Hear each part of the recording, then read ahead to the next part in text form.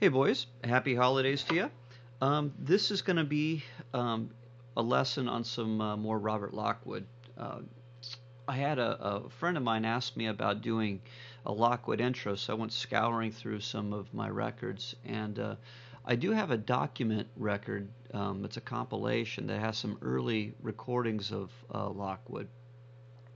And he plays this fantastic uh, intro on uh, Black Spider and um, I'll play it, and I'll then I'll be able to uh, uh, kind of explain the theory in at least the way that I approach it. And I think it has good application um, in um, in your country blues and Chicago blues playing. So if you need an intro, this is I think an ear catcher. Uh, definitely very derivative of some Lonnie Johnson ideas, and um, so check it out. And there's a couple ways that you can play it. You can flat pick it um, or hybrid pick with a flat pick or use a thumb pick.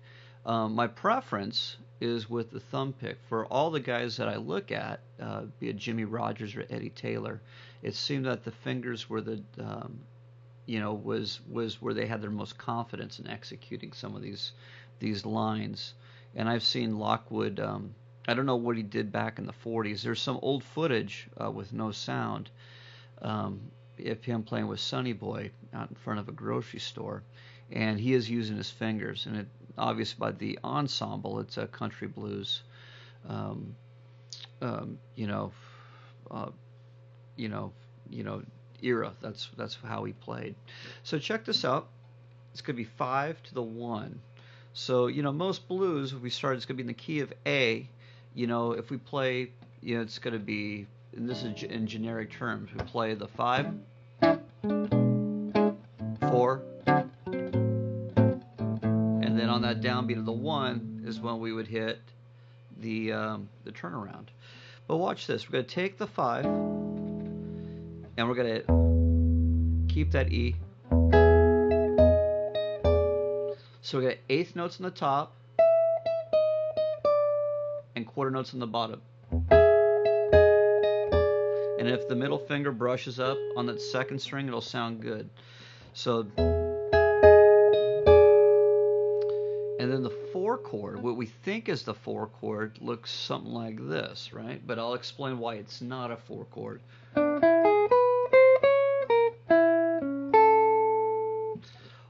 What it is, is he is playing two bars of the five before he goes back to the one. So it's not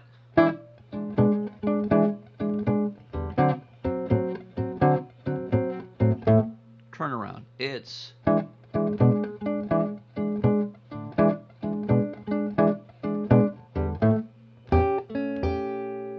so two bars to the five to the one. So this little piece that we're playing right here, this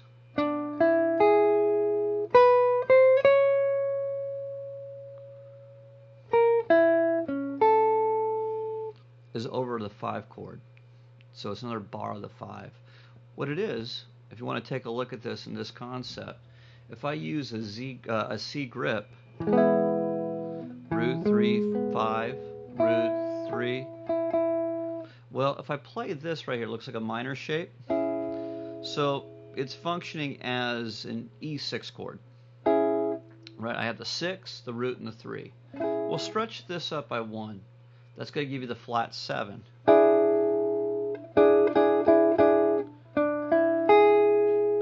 Has a nice sound to it. And I believe this is the way he would play not only because of where the um, the register of notes and the you know this is, but it's also you've seen things on.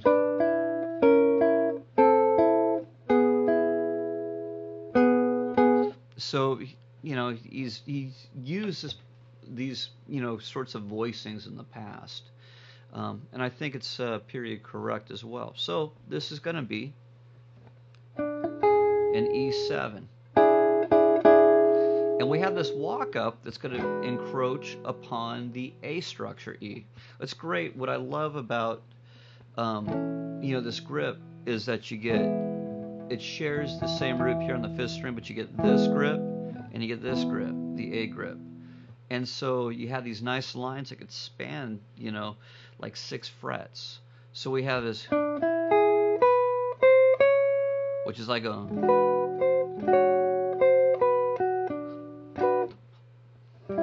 Ah, sorry about that.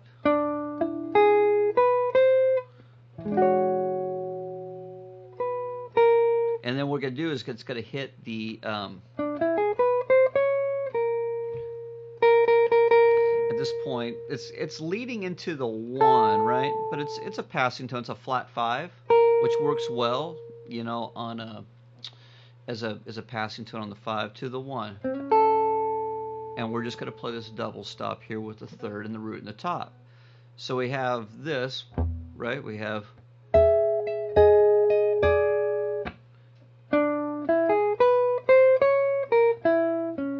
Let's play that again. You got a string jump right there.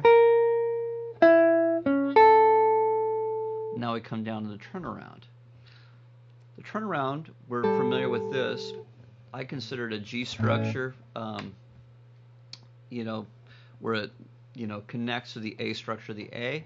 So we're going to have this. We're used to doing this.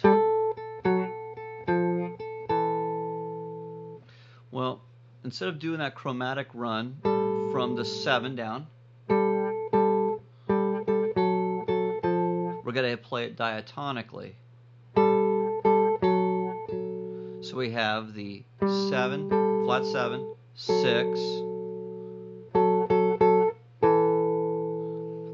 we're going to hit? The 5, 7, 6, 5, 3,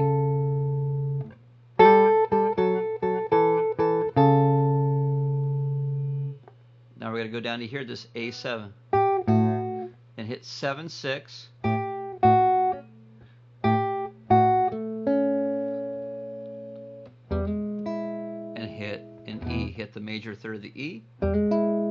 We're to go.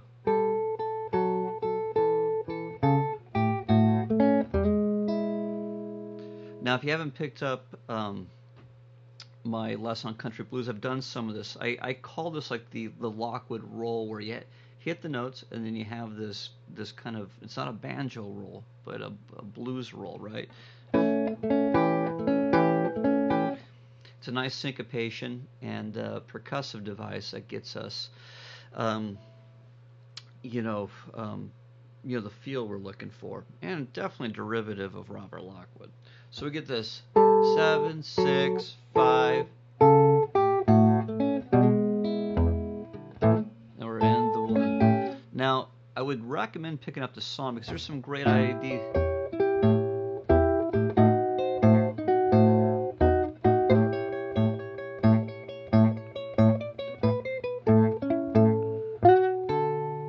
So I'll probably do another lesson on that, but you know, right now you can chew on playing this uh, intro. So check it out. At this point, there's no bass line, uh, um, you know, reinforcement, and you're gonna hit the.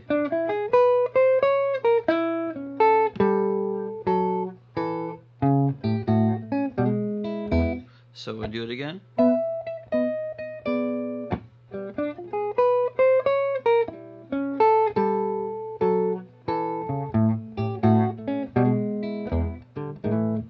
Cleaner, but it's a good way to get into it. And I also recommend if you want to try using a thumb pick, I think that's going to get you a little closer to the mark. The only thing that um, the advantage of having the thumb pick is it frees up this finger. So if you play this, you get the you're, and you got to use the thumb.